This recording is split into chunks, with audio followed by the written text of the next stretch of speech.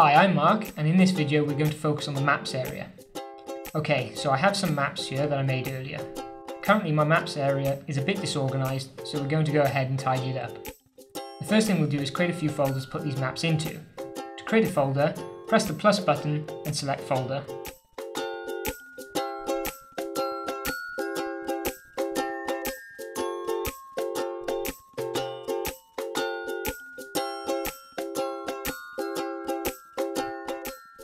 Okay, now that we have some folders ready, moving our maps is really easy. Select the map you want to move and press the Move Map button from the preview area. Select the folder you want to move it into and press Done. Just quickly going to go ahead and move the rest of these maps.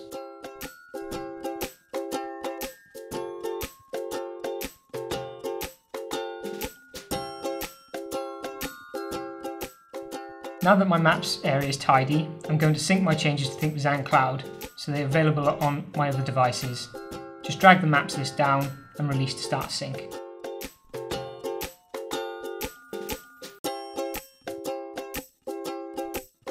If you want to delete a map or a folder, just swipe on the item in the map list and tap delete.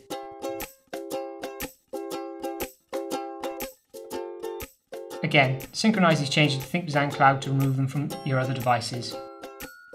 It's that easy.